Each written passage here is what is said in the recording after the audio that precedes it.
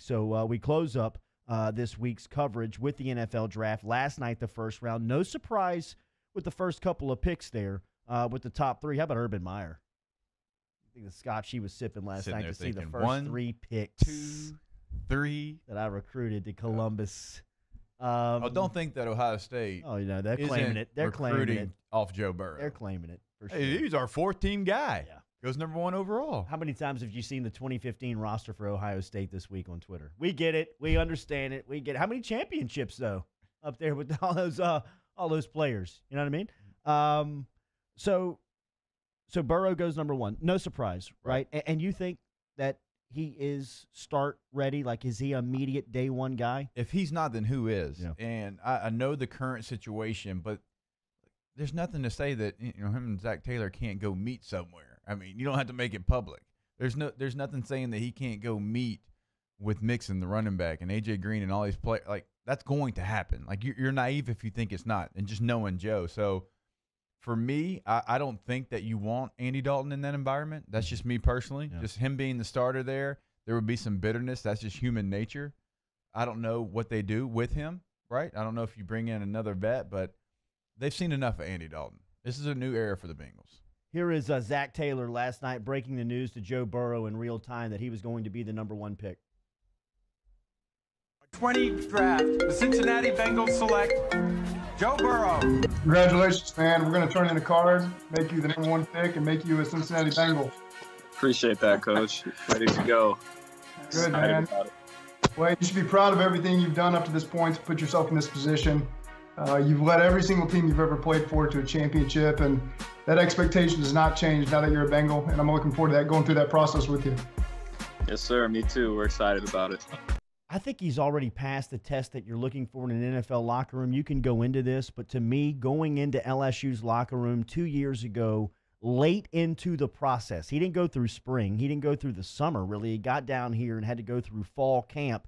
In the meantime, he had to win over the locker room, introduce himself to the teammates, win the starting job, familiarize himself with a new area, a new town, a new part of the country and all the while become a leader on a top 10 team going into his junior season. He accomplished all of that and then a season later is the bona fide face of the program and a national champion and a Heisman Trophy winner. To me, you're looking for those tests to be passed in the rookie first, second year of an NFL guy. Burrow's already done that. I think he's already answered those questions. It's very difficult to do what he did, come in here and then gain the team's confidence in weeks. I mean, he, he had everybody's confidence. And y'all will hear me say this a bunch, but your quarterback has to have the entire team, not just the offense. He's got to have everybody listening to him. And so when he gets up there and he talks, he's got to be the leader of the team. And Joe has that ability. We all know that. And when you look at the Bengals roster, I think they only have five players that have played 10 years or more. So it's not the oldest team. When you look at like Carlos Dunlap and Geno Atkins on, on defense, and then AJ Green and Andy Dalton is the other guy that's played a decade in the league. Well, uh, we don't assume Andy's going to be there. And AJ Green is a guy that if I'm Joe, and I know Joe already knows this, I go to AJ Green before I go to anybody else and say, I'm your guy. I know you don't like it here. I know you've been unhappy in the past.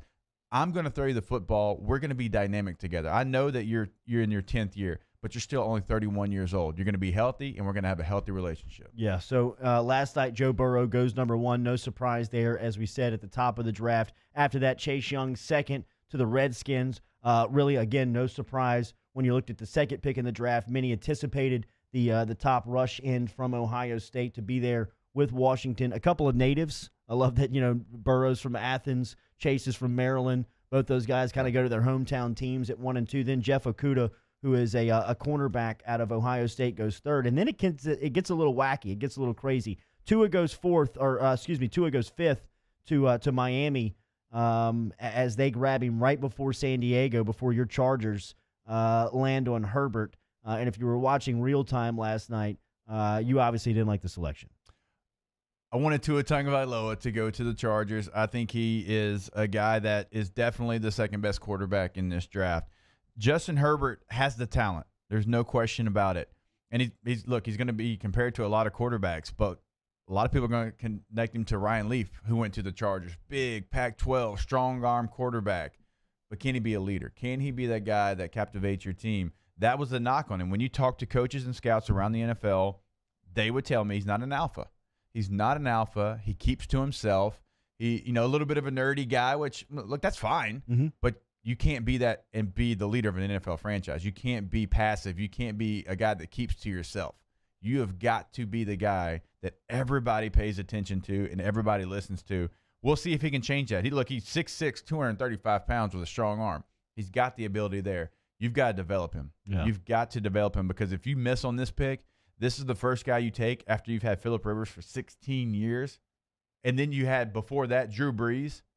Man, you cannot miss on this pick, and I, I don't love the fit. So Herbert goes sixth to the Los Angeles Chargers. After that, Carolina Panthers make a uh, NFC South selection with Derrick Brown, who's the top defensive tackle in this in this uh, in this draft. Isaiah Simmons, the linebacker, kind of the hybrid uh, defender out of Clemson, goes uh, goes eighth overall to uh, to Cliff Kingsbury and the uh, the Arizona Cardinals. Kingsbury, as we mentioned going into the intro, absolutely won the night from just a uh, a viewing perspective. Mm. Um, if you were looking at the setups, I thought Arians had a nice setup. It looked like he was outside um, in the in the Tampa sunshine, kind of showing off the weather. I thought Zac Taylor in Cincinnati looked very Midwest and very Cincinnati. Um, and I thought, like he's in the corner of a ballroom. I mean, just very plain closet, carpet on the wall type look. Mm.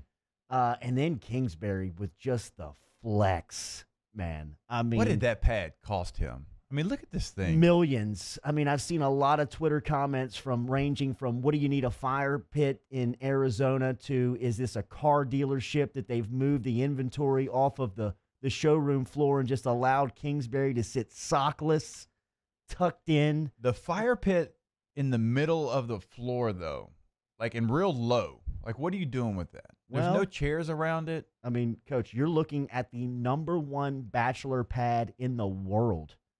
Special, I mean, no doubt in America. I mean, Kingsbury. Um, I, I know that he, he he's got a he's got a girlfriend, but but by all intents and purposes, I mean, he has weathered through the football life without getting married, uh, and really more impressively, without having any children. Um, to find himself as the head Yeah. coach of the Arizona Cardinals as a single man living this type of life. And you know, Cliff likes to have fun. Uh, my recruiting host when I went to Texas Tech, Cliff Kingsbury and Wes Welker, Wow. they did not miss a good time. Coach, uh, well, I mean, the, the, the third quarterback, the third string quarterback days when he was in New Orleans is legendary. Legendary. He was behind, I want to say like Jim Everett and Aaron Brooks Probably somebody named Billy Joe. and Billy Joe. A chance. There's Yes. Billy Joe on the roster. I mean, the stories that came out of Kingsbury during those days. Vrabel's kids, as we talked about last night, one of them was on the one of them was on the toilet. Uh, one of them was miming behind him. I mean, it was absolute quarantine days Yes. over at the Vrabel house. Like they have lost their mind. I, there, there was one there was one shot of Vrabel where he released a dip out of his front lip that looked like a cow patty. I mean, it looked like he hawked up like a cow, piece of cow manure when he when he shot this. Uh, did you see this? That's a hell of a turk he's got in right I there. mean, coach, That's that is a major league. That's a. Lenny Dykstra type dip right there. He was, Uh, hey, he, hey, he was a hell of a football player. I played against him. He had the longest arms in the world. Like you couldn't get any hands on his he shoulder have two. Super Bowl touchdown receptions? Yes. that's incredible. Uh, Danny, I think I, I linked the, uh, the the the Twitter shot of him spitting out that dip.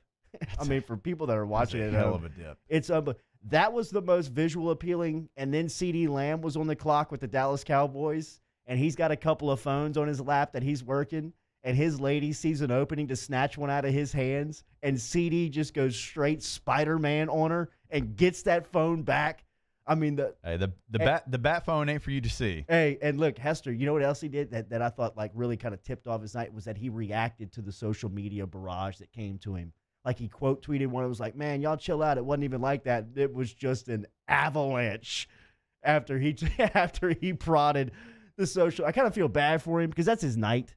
You know what I mean? Like that's Yeah, his and night, now bro. that's- and that's now his night is gonna be it's gonna be a meme forever. And Um, and the poor girlfriend just kind of like yeah, looks away had to play like it. She had to play it "Uh, like, oh man, we're on that we're on national television. Everybody sees what Oh, she's got the awkward grin. Mm. It was just it was a look at.